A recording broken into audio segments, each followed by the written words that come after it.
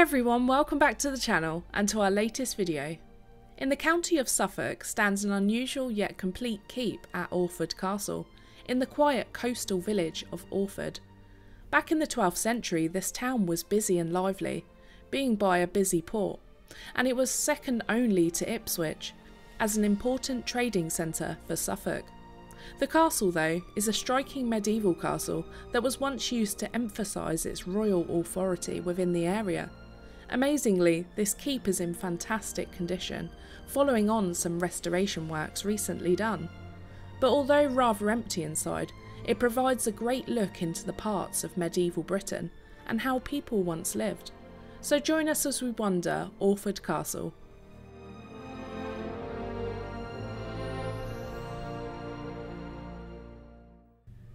You may wonder how the castle gets that iconic yellow tint. Well, it's made from local cement stone called septaria, alongside Barnack stone, which is a fossil rich Northamptonshire limestone. Some Caen stone was imported from Normandy and used for the finer carved architectural detail, alongside a hardened shelly sand that was used inside the castle. I love how this castle looks on the approach to it, and especially from the air too which if you stick around, you'll see exactly what I mean. The first building that we make our way up into is the chapel, the most beautifully decorated room in the whole of the castle. It was well lit with stunning glass windows to let the light shine in, and the walls have wonderful arcading, some semicircular arches that were supported by columns, and there is quite little of stone carving elsewhere in the castle, but this chapel had stunning carvings, just again showing how important God was to the families and also how much they respected religion. The castle was originally built under the strict orders of King Henry II, and although the surrounds don't survive today, it was an impressively sized stone structure that was fortified and surrounded by a curtain wall and several defensive and clever mounds. When Henry acquired the throne in 1154, there was not a single royal castle in all of Suffolk.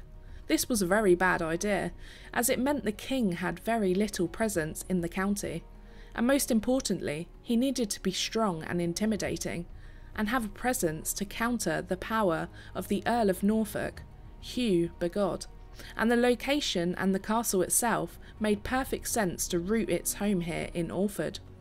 Modern day Orford Castle is now a unique polygonal tower and it has three square turrets and is 90 foot high.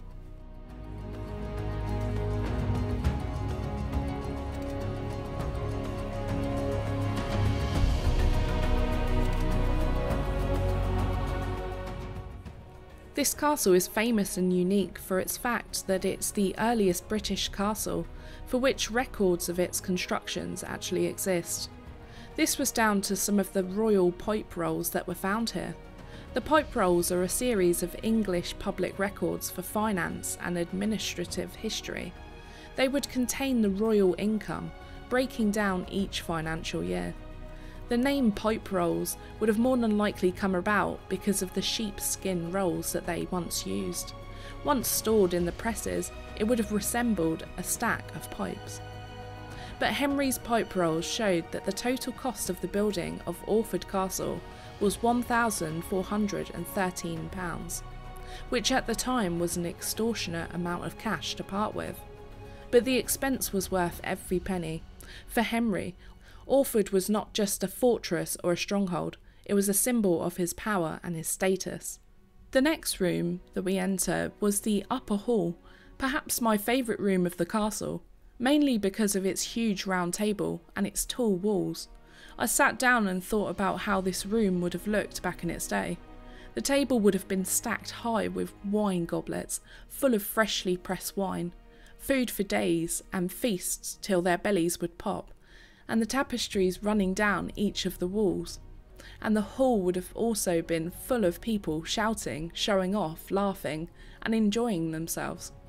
I had read that throughout the feast they would hire brightly dressed jugglers to amuse them throughout, as well as a fool to keep them laughing. The hall now contains a great exhibition, showing off a collection of objects found throughout Orford's life.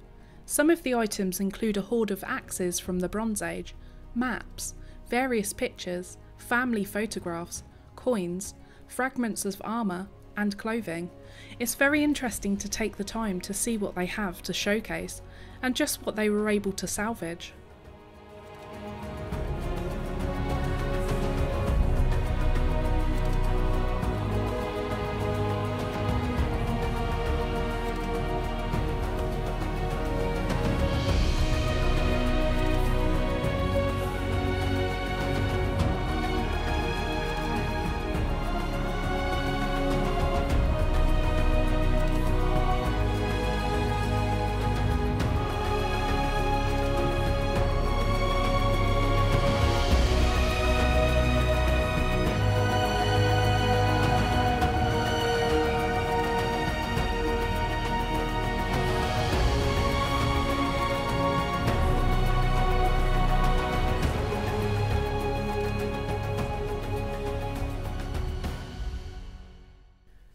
Castle remained in royal hands right up until 1336, when it was sold by King Edward III. And it began to decay over time, with the curtain wall completely collapsing and the stone from it stolen and lost. Yet the tall keep that we climb today survived because it was a very useful landmark for shipping. Later in the 19th century, the castle was adored by many for its rightfully so picturesque qualities and it was a beautiful, lavish summer home for the owners of the Sudbourne estate. It was Sir Richard Wallace in 1871 who furnished the upper hall. After Sir Wallace, the castle went through seven more private owners who enjoyed the castle before transferring the castle to the care of the English Heritage.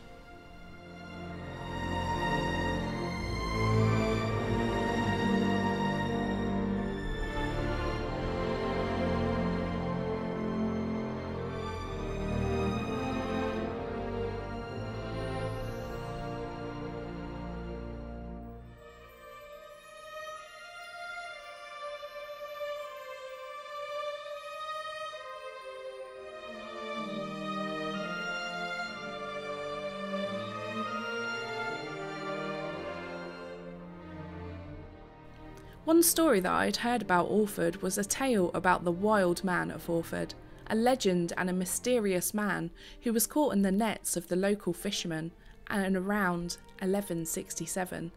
They had thought they had caught a big catch and were dreaming about the feasts that they would be able to deliver and the money they would receive, only to be confused and shocked at a naked wild man, covered in hair, and someone who had obviously lived in the sea for some time. The wild man was also rightfully confused. He was brought back to the castle where he was thrown into a dungeon and held for six months, whilst being tortured and interrogated constantly. He said absolutely nothing, grunted his responses, and behaved in a feral way throughout. On a rare occasion, the fishermen took the wild man back to the sea to give him some time for fresh air, as they had felt sorry for him and his constant torture. So they put him in a pen of nets to see if he would enjoy being back in the water, but stupidly they forgot to put a bottom in the pen, and the wild man swam free and returned to the sea, where he was never seen again. I love reading and listening to the stories and the tales from the past.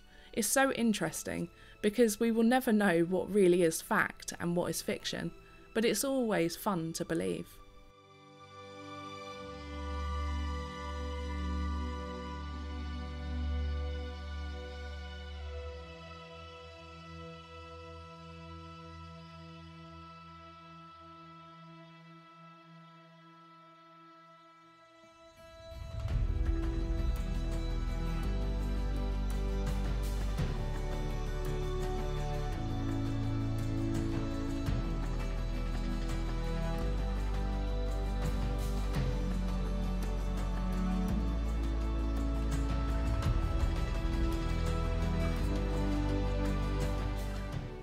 We climb the stairs again, this time to the roof of the keep, and discover inside of the castle's bakery.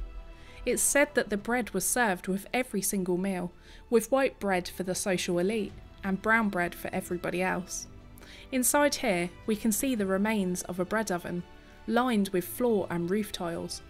This was because the tiles were considered not good enough to use elsewhere in the castle, so they put them inside the oven instead.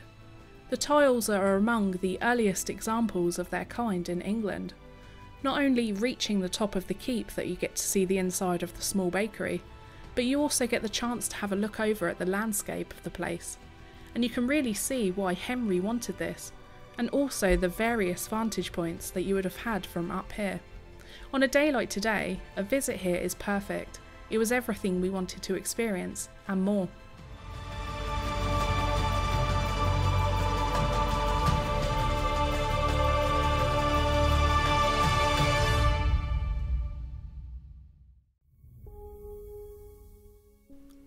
Prince Edward would often visit Orford and would typically arrive unannounced, or at the very least with short notice, so there would be chaotic and frantic panic at the castle, as the servants would rush around to prepare for a royal visit, where they would make sure that they clean every inch and make sure that there was an abundance of food and drink ready on arrival. When the king or the owners would have been elsewhere, maybe on business, a constable would have been in charge of the castle. One particular constable was notorious for being a nasty piece of work and misusing his powers. He once threw a royal official in prison at the castle, and it's suspected that the dungeon that we take a peek into, underneath the entrance, was the place that the royal official was badly beaten. The constable also abused another man, so horrifically that he died of his injuries.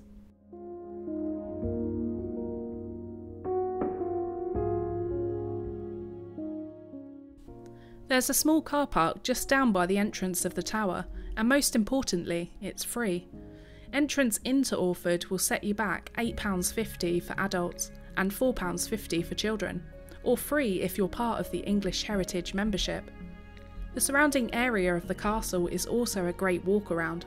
You can easily bring a picnic and spend a good few hours exploring here.